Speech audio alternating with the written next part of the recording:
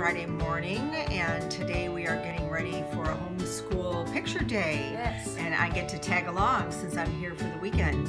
So I'm excited and looking forward to seeing everyone, and then they're all going to the park to have some really awesome pictures taken. So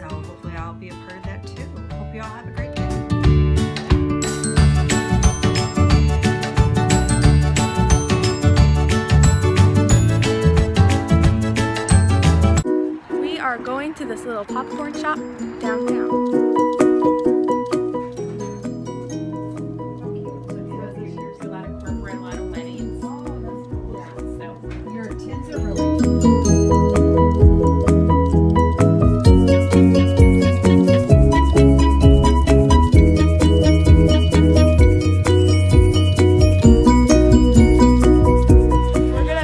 Fish for dinner. can't wait.